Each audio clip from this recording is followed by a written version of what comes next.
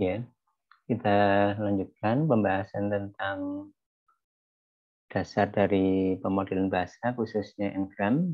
Kita akan tapi kita akan bahas dulu pertanyaan-pertanyaan untuk NLP secara umum yaitu yang eh, minggu pertama yaitu tentang pengantar NLP tapi saya kira ada juga yang nanti eh, ada kaitannya dengan model bahasa ya. Saya akan share pertanyaannya.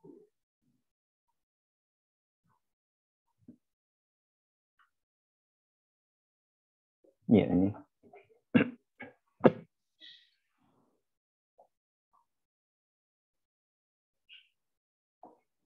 Ya, ini yang dari yang pertama. Eh, pada materi pengantar NLP terdapat analisis eh, natural language understanding dan analisis natural language processing. Jadi understanding dan processing. Uh, apa uh, maka dari itu apa perbedaan antara keduanya? Ya saya kira ini ya apa ada setahu yang saya tahu ada beberapa ada beberapa pendapat ya ya salah satunya adalah kalau sebenarnya kalau yang mengatakan bahwa analisis atau processing ya sama-sama analisis. Kalau processing itu sebenarnya lebih umum ya processing sama understanding. Maksudnya di sini kalau pertanyaan berarti antara ini perbedaannya kan adalah understanding dengan processing ya. Nah processing itu secara lebih umum ya um, lebih umum itu seperti misalnya kita memberi label ya seperti misalkan klasifikasi seperti spam email filtering, kita memberi label apakah spam atau tidak. Ya, kemudian kalau understanding mungkin yang lebih ininya ya, lebih um, jelasnya atau mungkin katakan lebih ekstrimnya yang disebut dengan natural language understanding. kita lihat contohnya. Di sini natural language understanding untuk uh, salah satu course-nya ya, natural language understanding salah satu mata kuliah jadi di Stanford, di Universitas Stanford yang di mana Universitas Stanford itu maju dalam NLP. Kemudian di situ ada mata kuliahnya macam-macam yang berkaitan dengan NLP. Ada deep learning NLP, ada information uh, data to information uh, apa ya data to information atau semacam itu ya.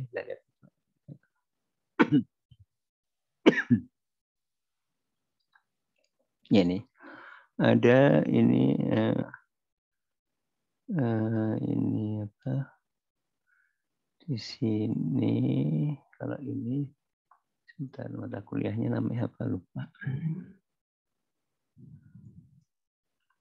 ya, yeah. language the information ya. Jadi kemudian ada information retrieval, ya kemudian ada natural language understanding. Nah, untuk natural language understanding ini salah satu yang uh, kelihatan adalah uh, ini apa? Contohnya adalah kalau kita di misalkan dialog system. Ya. Di dialog system di mana di situ kita perlu pemahaman di mana pemahaman itu ada yang kita udah bahas di sebelumnya ada yang namanya pragmatis dan kita harus tahu konteksnya. Kita tahu dari dengan interaksi tersebut ya. Yaitu perlu pemahaman yang benar-benar. Jadi itu pemahaman kami di situ meskipun juga tentunya didukung dengan seperti NLP NLP yang yang standar. Standar itu seperti misalkan yang akan kita pelajari seperti di sini ada uh, relation extraction kita tidak pelajari. Kemudian seperti misalkan di sini ada information retrieval kita tidak pelajari. Di sini ada uh, oh ya pragmatik kita tidak pelajari dan pragmatik ini yang berkaitan dengan understanding kan sekira pragmatik ya. Jadi pragmatik itu uh, contohnya ini ya Pak misalkan contohnya misalkan gini misalkan contohnya uh, um, misalkan ada kamu umurnya berapa ya pertanyaan kemudian dijawabnya saya sudah punya KTP nah itu kan berarti ya, dia jawabnya sebenarnya saya sudah 17 plus kan Ya, dia 17 plus, saya jawabnya saya sudah punya KTP. KTP itu artinya dia 17 plus. Itu adalah pragmatik. Artinya di, di, di negara Indonesia, KTP itu, punya KTP itu sudah 17 tahun. Ya, ya itu sudah udah 17 tahun. Mungkin di negara lain beda lagi, misalkan seperti itu. Itu adalah pragmatik. Tapi di sini seperti misalkan uh, transformer, kemudian di sini ada Contohnya eh, mana di atasnya ada. hmm. Hmm. Ya ini um, tidak banyak sih contoh di sini ya. Tapi di sini misalnya ada tribank, kita mempelajari juga.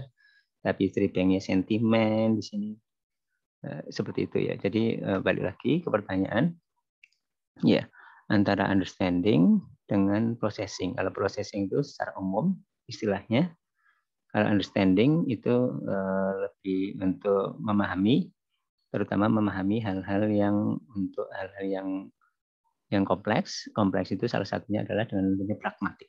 Ya, pragmatik dan yang pernah kita pelajari adalah discourse. Di mana discourse itu kita mengkaitkan atau keterkaitan antar kalimat satu dengan kalimat-kalimat yang lain atau kalimat-kalimat sebelumnya. Mungkin seperti itu ya. Mungkin silakan mungkin ada yang masih mau melanjutkan pertanyaan ini. Kemudian berikutnya di sini pada slide pengantar NLP terdapat slide di mana menyebutkan beberapa tas yang masih sulit dilakukan. Apakah tas-tas tersebut ada kemungkinan dapat dilakukan dengan NLP di masa mendatang? Dan memang sudah ada progresnya. Dan apakah mungkin nanti akan muncul tas-tas baru yang dianggap dapat diselesaikan dengan menggunakan NLP. Ya, jadi satu permasalahan itu bisa memang masalahnya sulit.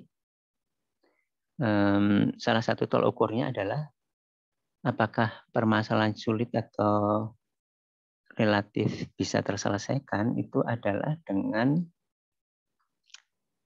uh, bandingannya, pembanding atasnya, pembanding yang idealnya adalah manusia. Ya, adalah dengan manusia. Contohnya misalkan post tagging. Post tagging itu manusia bisa akurasinya sangat tinggi dan juga mesin bisa sangat tinggi. Tapi misalkan contohnya kalau untuk peringkasan yang abstraksi, manusia itu tidak bisa terlalu tinggi. Sehingga juga mesin juga um, atau NLP itu juga batas mentok atasnya itu biasanya sekitar manusia. Mungkin bisa melebihi manusia sedikit, tapi batasnya adalah manusia. Kalau manusia abstraksi itu katakanlah akurasi gitu ya, akurasinya eh, hanya katakanlah 70-an persen, katakanlah seperti itu, ya itu adalah batas atas mungkin eh, NLP bisa lebih sedikit ya. Jadi ini apa eh, sulit itu juga salah satunya adalah karena sulit memang permasalahan yang sulit. Ya. Kemudian yang sangat-sangat penting untuk NLP dan juga image ya sebenarnya sebelumnya sebelum sebelum sebelum NLP salah satu revolusi itu adalah dengan deep learning. Ya, pertama image yang kerasa itu eh, kemudian eh, NLP. Eh, deep learning itu hmm, ada plus minusnya, tapi dari sisi efektivitasnya atau akurasinya itu bisa jauh lebih tinggi atau signifikan lebih tinggi daripada yang pra pra neural atau pra deep learning. Di mana kalau di bahasa manusia atau NLP, contohnya nanti akan kita pelajari, itu Eh, membutuhkan pengetahuan-pengetahuan kebahasaan, artinya perlu ahli bahasa, perlu linguis ahli bahasa, dan eh, ada ini apa ada kaidah-kaidah bahasa yang terus dicangkokkan. Misalkan mesin translation oh kalau seperti ini bahasa Inggris harusnya seperti ini dimasukkan lagi ke mesin translation. Jadi mesin translation semakin kompleks semakin kompleks semakin kompleks dengan kekompleksan linguistik. Nah ini dengan adanya deep learning itu uh, jauh lebih sederhana sistemnya. Kemudian meskipun jauh lebih sederhana dan lebih generik generik itu artinya antara bahasa satu dengan bahasa yang lain, bahasa Indonesia, bahasa Inggris dan antara bahasa apa dengan bahasa apa itu tidak terlalu um, dependen bahasa. Um, itu bisa secara performansi akurasinya atau efektivitasnya jauh lebih tinggi. Tapi tentunya dengan syarat um, itu perlu belajar lebih banyak data training. Kemudian yang kedua, kalau kita belajar eh, machine learning khususnya deep learning, mengapa deep learning itu baru belum lama ini bisa diimplementasikan? Ya sekitar 2015-an eh, lah kalau di NLP mungkin sekarang itu itu karena eh, dari sisi mesinnya. Kemampuan mesin lebih besar salah satunya juga apalagi dengan paralel kemudian dari sisi hardware-nya itu artinya ya. Kemudian kedua dari sisi uh, software-nya karena adanya framework-framework atau library-library sehingga para researcher dia tidak harus bikin dari scratch ya. Ya. Ya, kemudian tentunya juga karena ada secara hardware dan software semakin mendukung, semakin mendukung sehingga dari sisi konsepnya bagaimana membuat eh, apa arsitekturnya, hmm, apa bagaimana pengaturan parameternya dan optimisasinya dan lain-lain itu semakin bagus ya. Jadi di sini eh, salah satu kemajuan progresnya itu dengan itu tadi dengan uh, deep learning salah satunya ya. ya mungkin uh, mudah-mudahan bisa menjawab. Kemudian ini apa kendala untuk penerapan NLP bahasa daerah yang ada di Indonesia? ya NLP ini utamanya adalah learning prosesnya, processing, natural language processing. Processing di sini ini sangat terkait utamanya adalah kalau sekarang adalah learning. Ya, learning itu um, butuh salah satu yang penting butuh data training. Karena learning di sini utamanya adalah supervised learning. Artinya butuh data training. Di mana data training untuk bahasa daerah itu eh, banyak yang masih belum mencukupi secara kuantitasnya, termasuk secara kuantitasnya itu belum mencukupi. Ini salah satu kendala utama. Eh, kalau yang lain tentang misalkan tentang metodenya itu saya kira relatif umum ya artinya bahasa daerah dengan bahasa yang apa bahasa nasional atau bahasa internasional ya mirip-mirip lah gitu ya secara metodenya. Tapi hmm, ininya utamanya adalah datanya. Ini berkaitan terutama datanya. Karena datanya eh, bukan hanya data yang monolingual apalagi kalau mesin translation data paralel korpus itu kan perlu diupayakan. Kemudian berikutnya, apakah hanya bahasa Inggris yang sulit kalau dibaca oleh model NLP jika tidak digunakan secara tradisional? yang saya, eh, maaf saya tidak begitu menangkap dari sini, tapi eh, mungkin mudah-mudahan bisa menjawab. Ya, bahasa Inggris itu sebuah bahasa yang relatif sederhana dibandingkan dengan bahasa yang lain. Bahasa Indonesia juga sederhana juga dibandingkan dengan bahasa yang lain ya. Seperti yang sudah dibahas di itu ya di waktu pendahuluan itu dari sisi morfologi dari sisi sintaks dari sisi penulisan itu bahasa-bahasa yang lain banyak yang jauh lebih kompleks ya. Ya. Jauh lebih canggih sebenarnya dari sisi bahasa. Ya. Ya saya tidak mendalami tentang bahasa kenapa digunakan kemudian bahasa internasional bahasa Inggris ya. Jadi ya yang sejauh yang saya tahu secara sekilas karena ini sejarah aja bahasa Inggris Sedangkan bahasa yang lain sebenarnya lebih canggih gitu dan lebih canggih itu artinya lebih kompleks. Ya. Artinya kalau di otomatiskan artinya jadi lebih kompleks lagi. Nggak jadi bahasa Inggris itu relatif sederhana sebenarnya. ya kemudian eh, bagaimana cara menangani kata atau kalimat ya ambigu ya pada kalau ya ini saya kira berkaitan dengan yang kita bahas sekarang juga yaitu pemodelan bahasa ya. Sekarang yang sederhana aja, kata yang ambigu. Ya. Jadi kata yang ambigu itu kata yang bisa mempunyai beberapa makna ya atau sense ya, makna makna kata tersebut. Nah, ini ada uh, ada kalau kata itu ada word sense disambiguation, disambiguasi kata. ada nggak di sini ya?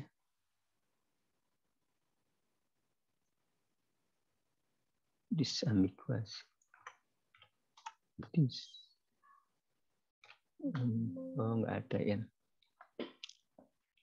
Ya, jadi ada uh, work sense disambiguation ya. Jadi work sense disambiguation itu untuk uh, kata, karena ini juga namanya word, word sense disambiguation kan. Word sense disambiguation. Ya.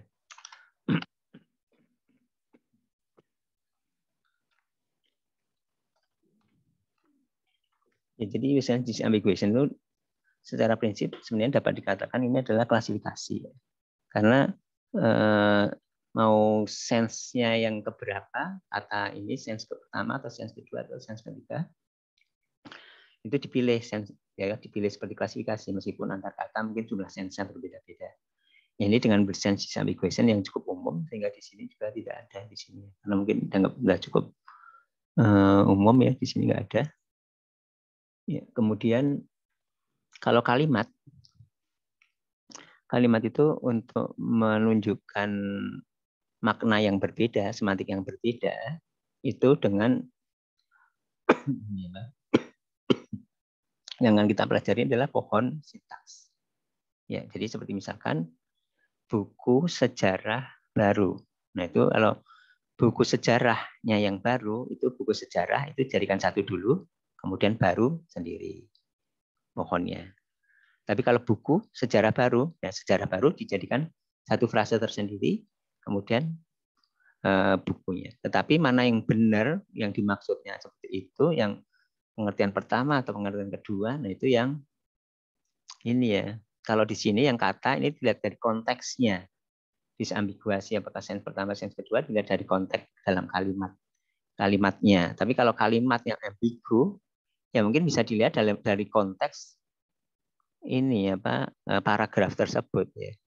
Tapi saya kira menarik ya. Saya juga uh, menarik. Saya, saya saya belum explore ya. Jadi uh, jadi kalau misalkan ada kalimat yang bisa dihasilkan dua pohon yang berbeda, buku sejarah jadi satu dan baru atau buku sejarah baru dilihat dari konteksnya kalimat sebelumnya, kalimat kalimat kalimat sebelumnya, kalimat kalimat sesudahnya ya saya kira pada prinsipnya itu uh, seperti ini juga ya seperti ya kalau uh, learning juga nanti asal ada ininya ada trainingnya proses training. Artinya um, ada kalimat-kalimat yang ambigu kemudian dibuat pohon-pohonnya kemudian itu sebagai training ya, seperti itu saya kira mungkin ya tapi saya belum ya belum explore itu. Kemudian yang berikutnya apakah NLP bisa digunakan untuk chatbot? Jadi insya Allah akan kita pelajari nanti di uh, pertemuan akhir ini di RPS nah di RPS kan ada ini aplikasi NLP chatbot dan sistem dialog. Kita akan pelajari ya mungkin kira seperti itu pertanyaan-pertanyaannya kemudian kita akan coba untuk me ini apa hmm, melanjutkan menggunakan slide. Is masalah.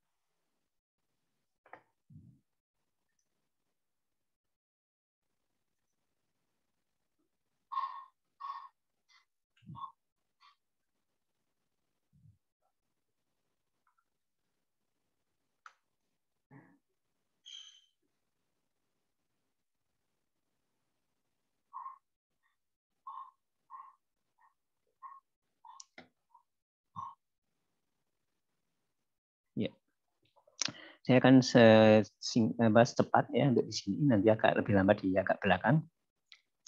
Dan kalau ingin lebih detail di depan, saya dilihat di pembahasan tadi pagi atau di yang video-video yang sebelumnya.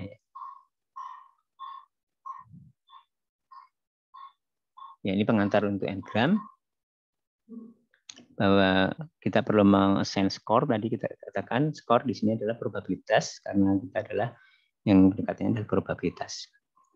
Ya, mengapa perlu? Ini eh, contohnya yaitu kita buat skor mana yang lebih pantas atau lebih bagus untuk meskipun ini adalah sinonim. Ya, atau mungkin ini juga uh, yang ininya mirip, uh, penulisannya mirip atau bunyinya mirip di sini. Mana yang lebih besar skornya? Artinya yang lebih besar skornya kita pilih. Ya model pemodelan bahasa adalah memberi skor ini. Ya kemudian di sini um, rangkaian kata ini atau kalimat tadi dari rangkaian kata yang lebih disederhanakan atau relatednya adalah yang satu kata berikutnya. Ya. Ini adalah language model, artinya memberi skor atau di sini adalah memberi probabilitas ya untuk Eh, probabilistic, probabilistic language model di sini. Ya, kemudian di sini um, bagaimana men-skor, memberi skor atau memberi probabilitas untuk rangkaian kata-kata di sini. Ya, ini untuk menyederhanakan atau sebagai penjabarannya dengan chain rule. Ya. Dengan chain rule di sini chain rule itu adalah seperti ini, yaitu di sini. Kemudian di dengan di, eh, di chain rule seperti ini. Ya. Atau secara umum adalah seperti ini. Kemudian um, ini rule contohnya adalah seperti ini. Jadi ini adalah sama dengan ini sama dengan ya sama dengan uh, yang age kalikan water given age artinya age kemudian diikuti water dan seterusnya age water diikuti is dan seterusnya ini sebelum sampai ke transparan. Oh ini sampai transparansi. ini adalah namanya chain rule. Jadi menghitung ini bagaimana caranya memberi skor atau probabilitas yaitu mencari probabilitas yang di chain rule dan dikali-kalikan. Ya, ini adalah aturannya seperti itu. Bagaimana cara mencari probabilitas dengan count? Iya. Count seperti misalkan eh, mencari probabilitas the yang sebelum kata-kata sebelumnya adalah its water is so transparent that kemudian diikuti the ya ini ada berapa probabilitasnya? Yaitu dicari yang its water is so transparent that the ya ini dan the di sini dibagi dengan jumlah yang its water is so transparent saja. Di sini belakangnya apa pun. Ya seperti itu. Tetapi Eh, ini bisa dihitung seperti ini realnya, tapi ini tidak bisa tidak bisa tidak memungkinkan pada praktiknya. Karena ini terlalu panjang dan mungkin di data ini nggak ada. Di data training mungkin nggak ada. Ya yang kalau terlalu panjang data trainingnya nggak ada.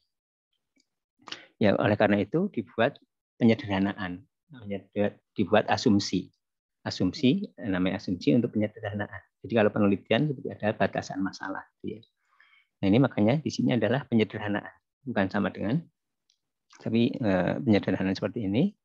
Ya, jadi kalau yang tadinya ingin mencari probabilitas kata apa setelahnya tidak usah yang dari depan-depan dari kata kata terdepan paling nomor satu paling awal terusnya dari yang sebelumnya saja bisa seperti itu salah satunya ya. Atau ya dua kata sebelumnya. Dua kata sebelumnya ini atau satu kata sebelumnya. Tidak perlu dari yang paling depan di sini. Ya. Jadi ini adalah penyederhanaan.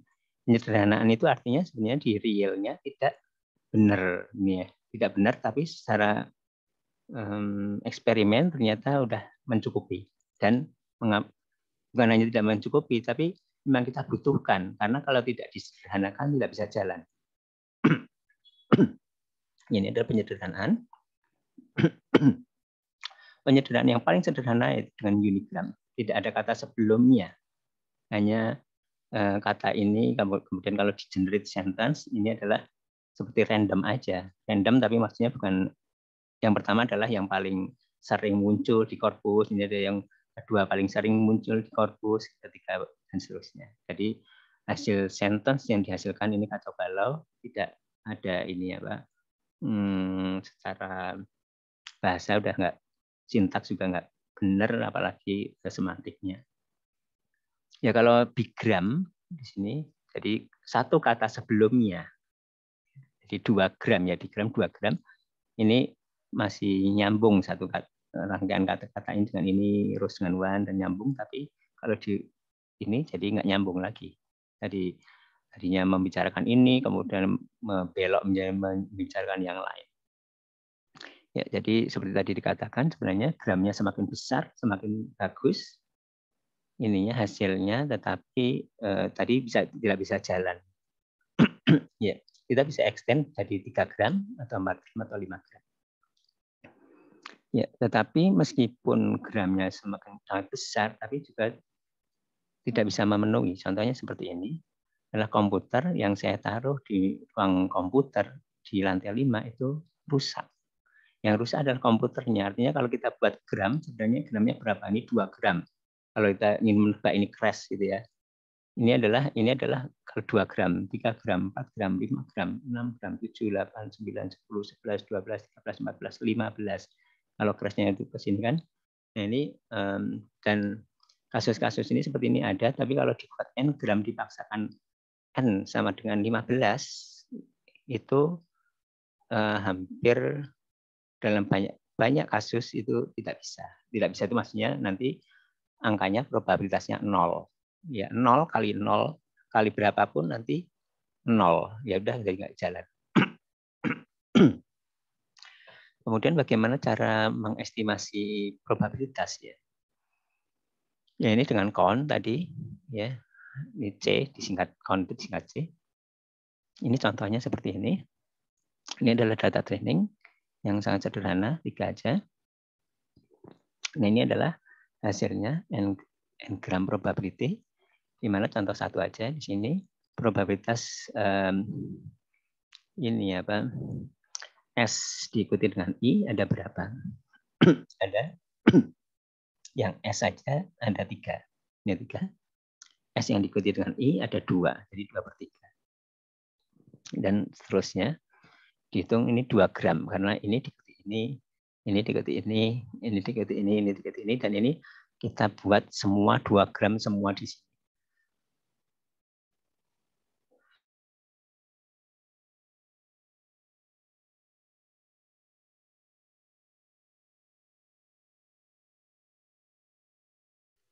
Ya. ya jadi ini dihasilkan semua n gram, dua bigram dalam ini dibuat dicari angka-angkanya.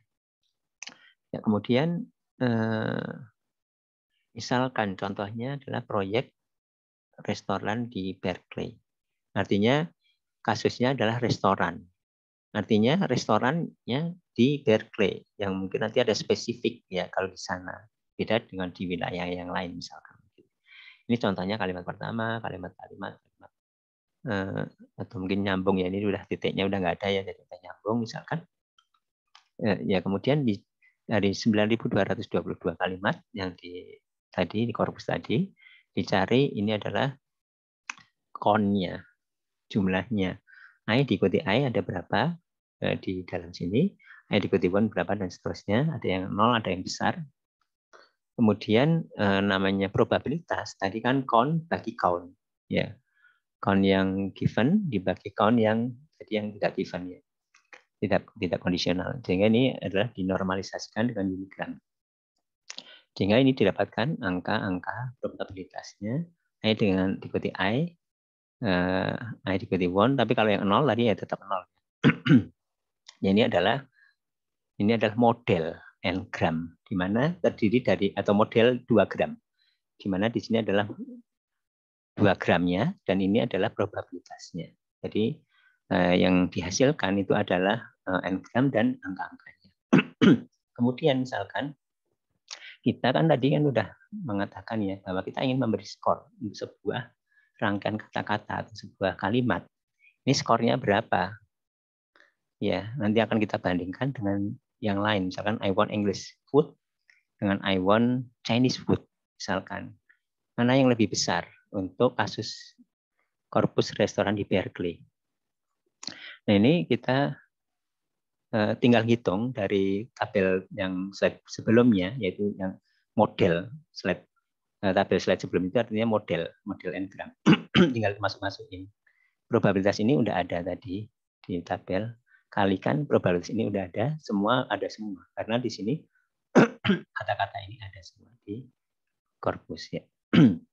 nah kemudian di sini tinggal dimasuk-masukkan. Nah kemudian um, pengetahuan apa yang kita dapatkan dari dua gram dua gram ini yang angka-angkanya berbeda. Seperti ini misalkan uh, one English dengan one Chinese untuk kasus restoran di Berkeley ya ini lebih besar. Kenapa lebih besar? Karena ya Chinese food lebih besar lebih banyak di sana. Restoran yang Cina daripada restoran atau makanan ya. Makanan Chinese daripada makanan English ya. Lebih umum. Jadi jenis knowledge-nya adalah karena jenis makanannya ini lebih banyak. Kemudian di sini uh, one two ya. One two ini suatu hal yang sering sangat besar di sini banyak.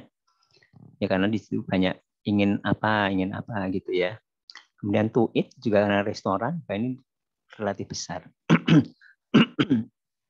Artinya knowledge-nya adalah karena ya want to itu saya kira karena restoran ya.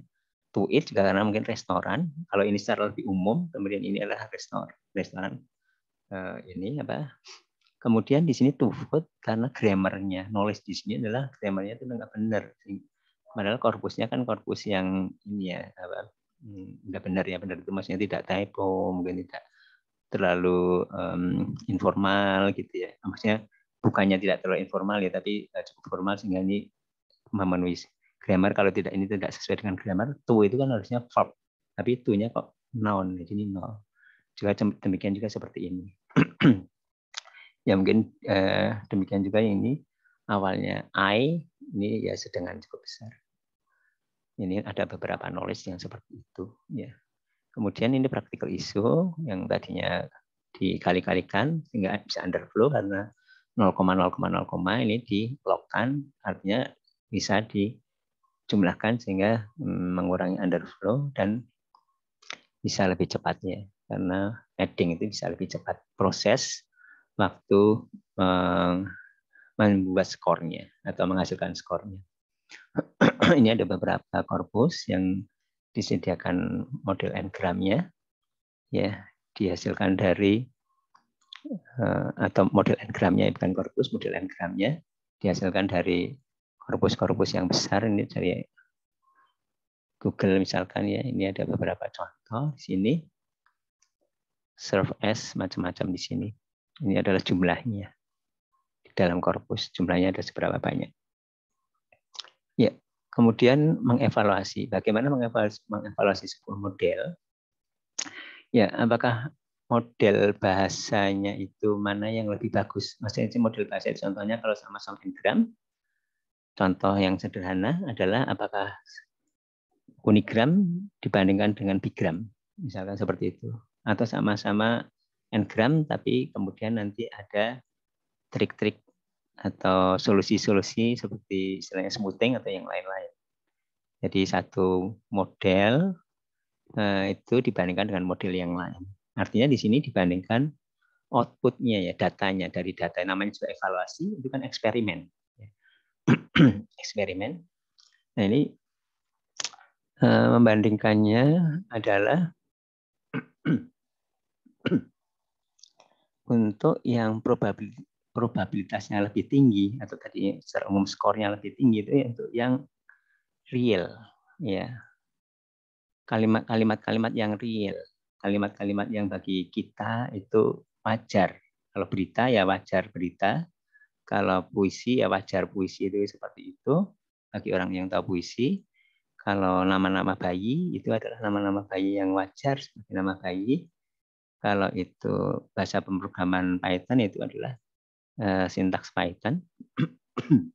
Kemudian kalau misalkan fiksi, fiksinya seorang penulis, gaya bahasanya seperti itu, ya biasanya seperti itu. Tidak nyampur, biasanya antara gaya bahasa penulis ini dan penulis itu, misalkan gitu ya. Nah, seperti itu ya. ya. Dibandingkan dengan yang um, tidak gramatikal. Jadi ini salah, misalkan kalau bahasa Indonesia, tata bahasa Indonesia salah atau yang jarang. Ya, seperti misalkan hujan eh, berat misalkan atau hujan besar itu lebih jarang daripada hujan lebat. Ya. Nah, bagaimana cara untuk um, untuk mentraining dulu? Kita menggunakan training set ya. ya. Tadi udah kita bicarakan. Ya, kemudian ini waktu mengukur performansi menggunakan test set. Jadi secara umum saya kira di apa pembelajaran mesin ya kita mempunyai training kemudian kita gunakan tes yang tesnya itu tidak digunakan untuk training ya sesuai fair ya saya kira seperti itu kalau kita pelajari learning atau di mining data mine ya jadi tes itu data uji itu seperti misalkan ujian kita training itu adalah soal jawab, soal jawab, soal jawab. Ya, ini soal jawab. Kita latihan, latihan. Contoh soal, contoh soal ada kita punya 100 contoh soal, soal jawab.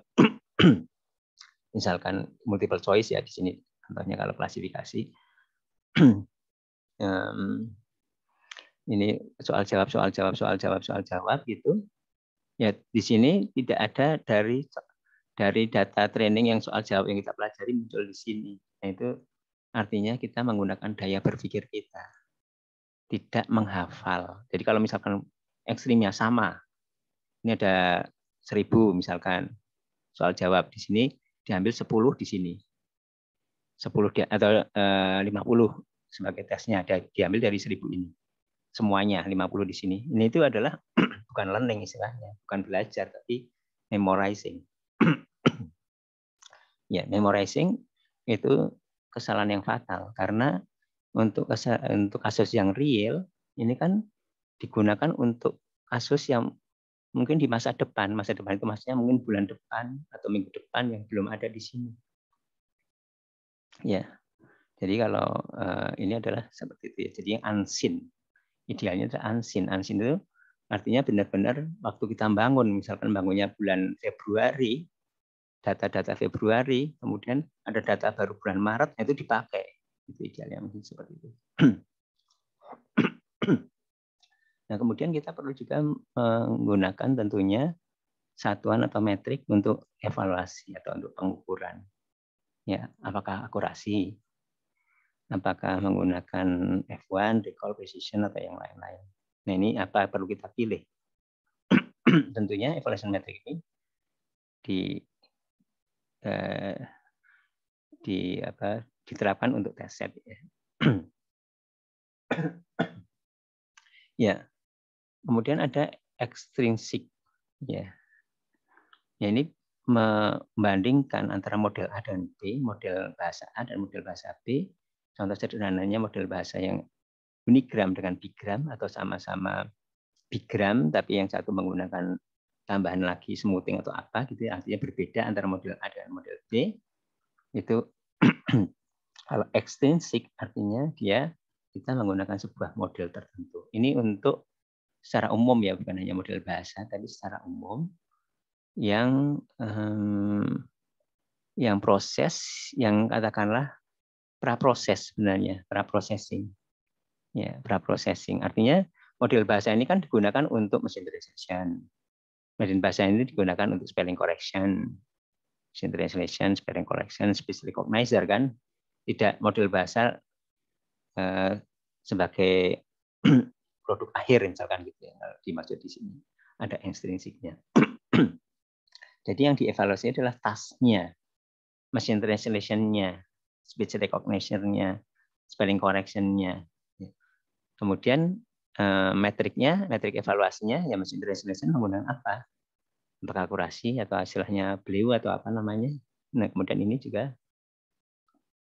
ya jadi dijalankan pada tas tersebut yang menggunakan eh, model bahasa misalkan ya ya jadi apakah misalkan di uh, uh, spelling correction ya atau di machine translation berapa banyak hasil di translate misalkan. Nah, kemudian dibandingkan antara model A dan model B. Ya, extrinsic ini bisa time consuming, bisa lama karena butuh ini ya, tas tersebut, tasnya yang mungkin lebih besar ya. Ya kemudian ada intrinsik ya. Intrinsik itu disebut dengan perplexity kalau untuk uh, model untuk language model ya. Intrinsik itu artinya langsung di ini langsung di uh, langsung diukur, tidak harus menggunakan tas yang eksternal atau ekstrinsik tadi. Ya biasanya dipakai kalau untuk awal ya atau pilot eksperimen. Ya, mesin meskipun nanti dipakai untuk mesin translation, tapi untuk membandingkan model A dengan model B yang nanti dipakai untuk mesin translation di ini dulu diukur dulu dengan intrinsik ini. Ya, meskipun masih internal mungkin ada kelemahan tapi juga dapat membantu ya. Jadi sini perplexity namanya kebingungan ya. Jadi artinya semakin di sini misalkan menebak kata berikutnya semakin natural, semakin tidak bingung, semakin tidak aneh, surprise, ini semakin bagus ya. Ya. Jadi kalau misalkan kita mau mengukur secara manual, ya, ya kalau kita mau mengukur secara manual di sini, ya ini kalau misalkan kita semakin apa heran, ya ini berarti um, skornya semakin jelek. Gitu ya. Intinya adalah seperti itu. ya seperti misalkan contohnya di sini saya selalu order pizza dengan cheese dan mushroom atau fried rice. Nah ini kan kalau fried rice kan jarang ya, ya semakin jarang atau bahkan mungkin ya sangat jarang ya. Jadi misalkan hmm, kalau mushroom semakin ini lebih populer ya. Artinya kalau di sini semakin semakin apa semakin jarang, semakin aneh itu diberi nilai yang semakin jeleknya. Ya, ya kalau unigram juga semakin jelek. Ya perplexity, ini perplexity, ya. Eh, perplexity itu adalah inverse probability sehingga makanya semakin apa um, semakin kecil semakin bagus ya. Itu adalah seperti itu. Uh, ya mungkin saya kira seperti itu ya untuk yang berikutnya generalization and zeros. Uh, saya kira tidak usah perlu kita bahas, nanti bisa lihat di penjelasan di ini lain di uh, video yang lainnya. Silahkan mungkin ada pertanyaan tambahan di sini atau enggak ada? Ya, kalau nggak ada, saya kira kita cukup sekian, meskipun tidak dibahas di pertemuan yang pagi atau pertemuan di sini, tapi untuk dasar-dasar dari yang selanjutnya dari hmm, apa yang tadi menangani zero itu harap nanti dipelajari juga. Ya. Kalau tidak ada pertanyaan, saya kira kita cukupkan sekian. Terima kasih semuanya. Um, ya mohon maaf atas kesalahan. Terima kasih. Assalamualaikum warahmatullahi wabarakatuh. Waalaikumsalam warahmatullahi wabarakatuh. Terima kasih Pak. Terima kasih Pak.